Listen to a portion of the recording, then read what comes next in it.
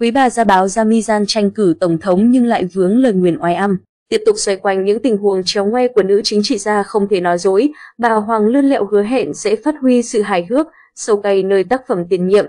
Năm 2020, nhờ nội dung vui nhộn và đánh trúng tâm lý đại chúng, bộ phim hài châm biếm Hàn Quốc Bà Hoàng nói dối, Honest Candidate đã gây bất ngờ lớn. Tác phẩm nhanh chóng chạm mức hòa vốn, càn quét mọi phòng vé bất chấp tình hình đại dịch đang diễn tiến phức tạp tại xứ Kim Chi. Đặc biệt, màn hóa thân đầy ấn tượng đã giúp nữ diễn viên Jami gian tỏa sáng lẫn nhận về giải ảnh hậu Rồng Xanh 2021 danh giá.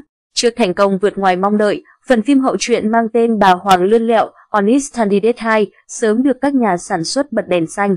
Bà Hoàng lươn lẹo đưa khán giả theo chân ứng cử viên Tổng thống Du Sang Súc ra Gian gương mặt vàng trong làng chém gió. Tuy nhiên, khi ngày tranh cử quan trọng gần kề, cô bỗng mắc phải lời nguyền cực kỳ oai âm. Đó là không thể nói dối trước mặt người khác. Mặc dù đã nếm trải kỳ tranh cử nhớ đời, rút ra bài học xương máu rồi đón nhận kết cục xứng đáng, ngồi tù 2 năm, chị ta vẫn ấp ủ tham vọng trở thành Tổng thống Đại Hàn Dân Quốc, nhận được sự hỗ trợ nhiệt tình từ anh chồng ăn bám bong man sik, Yoon Ki Ung Ho, cùng trợ lý cũ Park Hee Keon, Kim Moo Jun. Du Sang Suk quyết định khuấy động chính trường thêm lần nữa.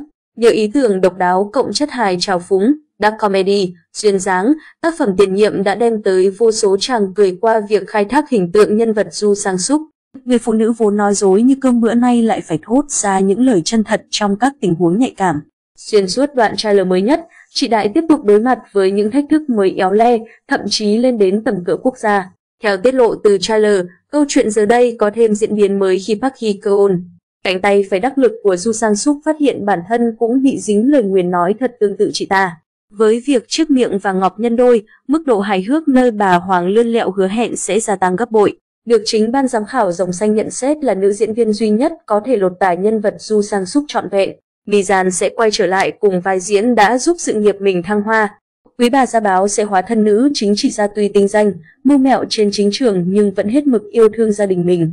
Ngoài ra Mizan, bà Hoàng Lươn Lẹo còn quy tụ dàn diễn viên tài năng, quen mặt với cộng đồng yêu phim Hàn như Kim Moo Jun, Yoon Ki Ung Ho, Duy Jun Sang,